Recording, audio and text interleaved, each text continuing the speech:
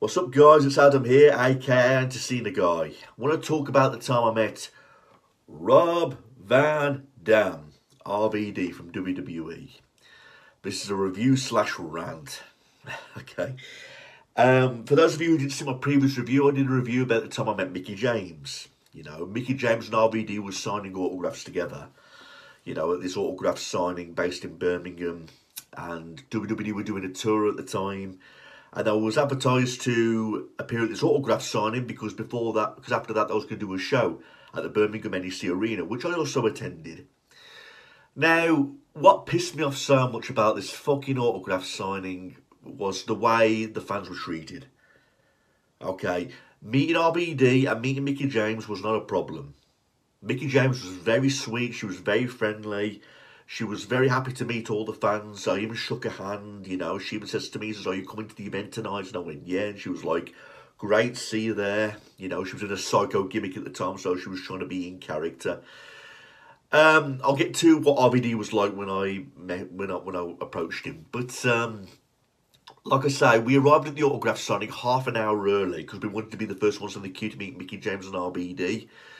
It was absolutely fucking pissing down with rain that day. You know, me and my friend got absolutely drenched and um, we were starving, we was dying for a piss, but we couldn't fucking leave the queue because we didn't want to lose our place in the queue. So we stood there in the rain and we stood there for three fucking hours that were late. I don't know if it's because of transport problems or scheduling problems. It's not RVD and Mickie James' fault. You know, the WWE superstars are constantly on the road. They need time in their hotel rooms to relax, but if they don't do that, they're either in the gym or they're doing some kind of schedule. You know, it's not their fault. You know, but um, it's always bad luck when WWE superstars arrive hours late, and I've had that happen with many other WWE superstars that I've met. You know, they've not all been like Mick Foley, who turned up like an hour early before the event to greet the fans. You know, it's not always like that. Please see that review, by the way, of the time I met Mick Foley. So, for three hours we waited and then when the stars turned up, the security were fucking assholes, man. The security says, right, everybody, there's a rule.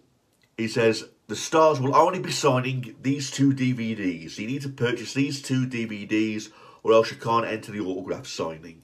And one was an autograph, and one was a, um, a DVD of RVD, one of a kind, and the other one was one that starred Mickie James in Divas Do New York. And I said to myself, well, I already own those two DVDs. You know, I've got to re-buy those DVDs again just to enter the autograph signing.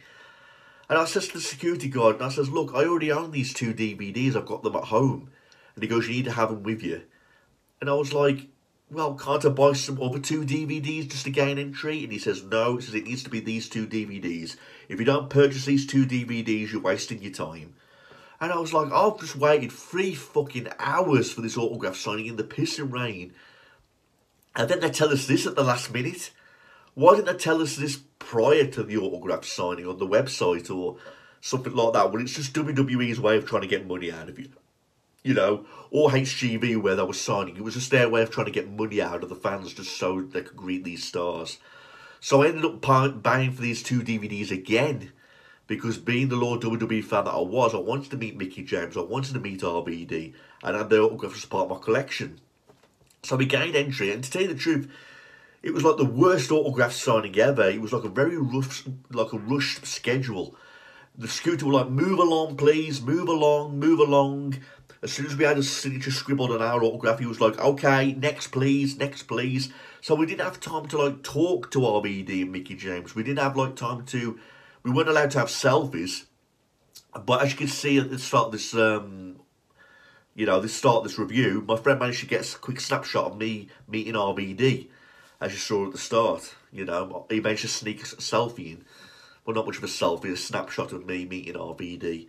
But it was so disorganised, it was so rushed. So not only do we have to wait three hours in the fucking rain, dying for a piss, dying for something to eat, we then get told we have to purchase two DVDs which we already owned just to enter the fucking store. And that counts to nearly 35, 40 pounds. Because them DVDs were like brand new releases, so they were very pricey. And um, like I says, Mickie James was sweet, but RVD didn't really do anything other than just scribble his signature on my autograph, and then we had to move along. So I didn't get a chance to shake his hand. I didn't get a chance to ask him a question.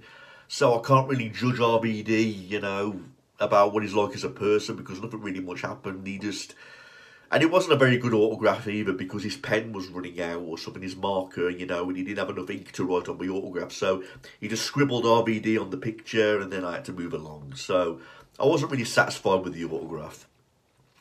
Again, this is not a blame on Mickie James. This is not a blame on RVD. It's just the way the schedule was and how we were all treated. You know, it was just totally out of order. You know, and, you know, waiting all that time and then having that bombshell dropped on us. I'm like, what the fuck, man, you know? they say us WWE fans are the most loyal fans in the world and we get treated like that, you know what I mean? So, after waiting all that all that time, you know, it wasn't a very good outcome. Again, no complaints from Mickie James, she was sweet.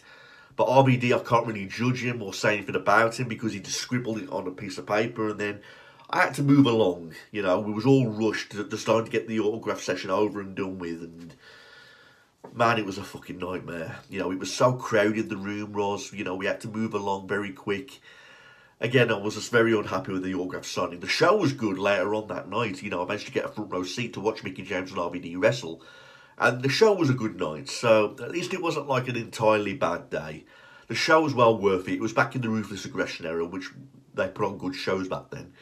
So, yeah, so the autograph signing fucking sucked, and that's my rant side of things about meeting RVD, you know. But um, again, the blame is not entirely on RVD, it's just on everything else. So that's all I have to say. So stay tuned for more videos about WWE Superstars I've met.